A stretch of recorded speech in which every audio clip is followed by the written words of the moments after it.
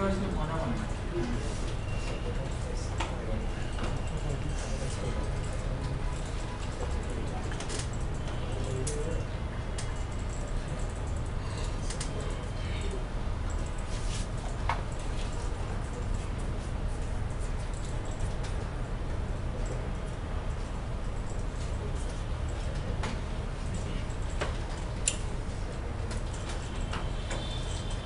আচ্ছা এখন আমরা দেখব যে আসলে ধরেন এই সফটওয়্যার ডিপার্টমেন্ট আছে না?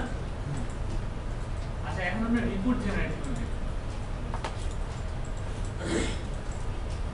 এখন কোনো সিস্টেম অ্যাডমিন যদি আপনার জব ছেড়ে চলে যায়, আপনাকে যদি আবার এই সিস্টেমটা বুঝতে হয় যে আপনার কোন কোন জিপিও অ্যাপ্লাই করা আছে, কোন ডিপার্টমেন্টের উপরে এটা খুব ইজিলি বোঝা যায়। আমরা যখন এই এইচআরে যাব, দেখা যাচ্ছে না?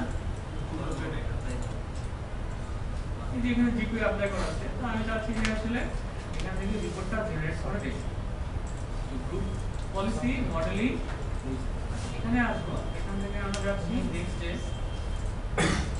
এখান থেকে আপনাকে কি করতে হবে? আপনার যদি অনেকগুলো ডোমেইন থাকে অথবা আপনার যদি চাইল্ড ডোমেইন থাকে অথবা যদি আপনার অন্য কোনো ডোমেইন থাকে ফরেস্টের মধ্যে অনেকগুলো ডোমেইন থাকতে পারে তো আপনি সেই ডোমেইনটা কি করবেন এখান থেকে সিলেক্ট করি এখন আপনি চাইলে কন্টেইনারের উপর দেখতে পারেন অথবা নির্দিষ্ট কোনো ইউজারের উপরও। দেখতে কন্টেইনার হচ্ছে ওইও হ্যাঁ কন্টেইনারগুলো তো বলা আছে আপনার। এখানে ব্রাউজ করে দেখাই দিচ্ছি। আমি কোন কন্টেইনারের উপরে করব সফটওয়্যার আমি সফটওয়্যারের উপরে অ্যাপ্লাই করব এখন নেক্সট এখন এখান থেকে আমরা কি করব? সাইট হবে। ডিফল্ট প্লাস সাইট নেম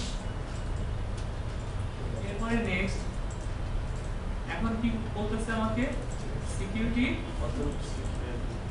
আমরা একটু দেখি এখান থেকে আমরা কোনো কিছু সিলেক্ট করব না হ্যাঁ? নেক্সট এখান থেকে আমরা কোনো কিছু দিব না।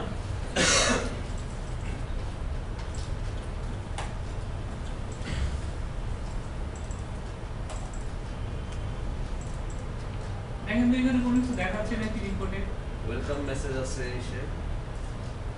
এইখানে দেখেন। এটা হচ্ছে আমার সামারি আমি যদি ডিটেলের মধ্যে যাই, এখানে দেখাচ্ছে না সব কি অ্যাপ্লাই করা আছে সফটওয়্যারের মধ্যে সফটওয়্যার ডিপার্টমেন্টের মধ্যে? ওয়েলকাম মেসেজ এখান থেকে যদি আমি ডিটেল দেখতে চাই।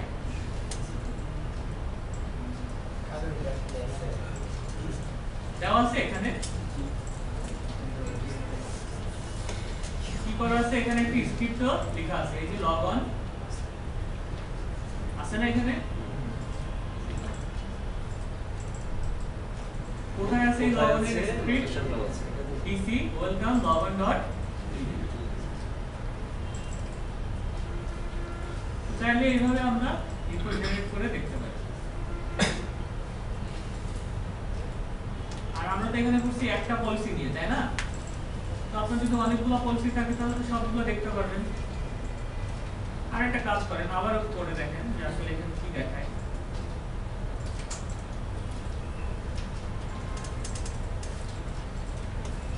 এখন আমরা একটা কাজ করি, একটা ইউজারের উপরে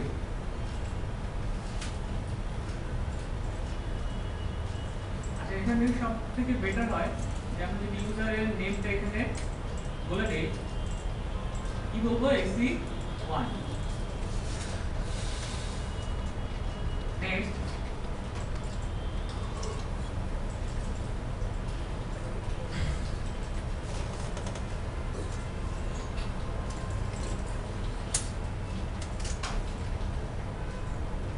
আচ্ছা এখান থেকে আমরা কি করব?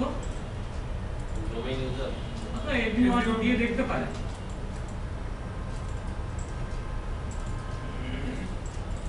এগুলা দেখবেন একটু রিপোর্ট জেনারেট করে আরএনডি করে দেখবেন যে আসলে কি আপনাকে দেখাচ্ছে